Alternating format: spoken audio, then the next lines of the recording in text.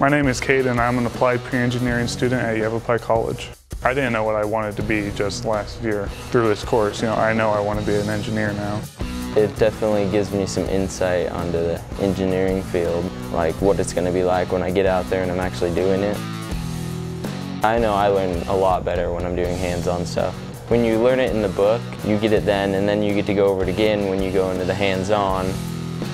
It just gives you so much experience. Like the other part of the course is CNC, that gives us certifications in the end where we could go straight out and get a job. You can use the CNC machines to actually make metal parts that you would then put together. For the first year, we actually make a vice grip. It's a big stepping stone up to what you want to do next. I love it. You have a Yavapai College, Life Explored.